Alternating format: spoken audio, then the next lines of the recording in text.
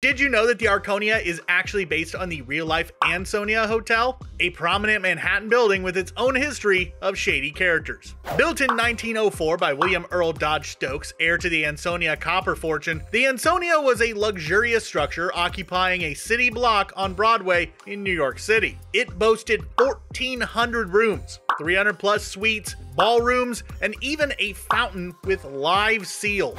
Now, after Stokes' death, the Ansonia witnessed a transformation from being a hub of scandal to housing a renowned cabaret sex club called the Continental Baths. In the 1960s, it became Plato's Retreat, a notorious sex club featuring a 50 plus person jacuzzi as well as other amenities. Amidst its colorful history, the building fell into disrepair until residents formed the Ansonia Residents Association, leading to its preservation as luxury condominiums.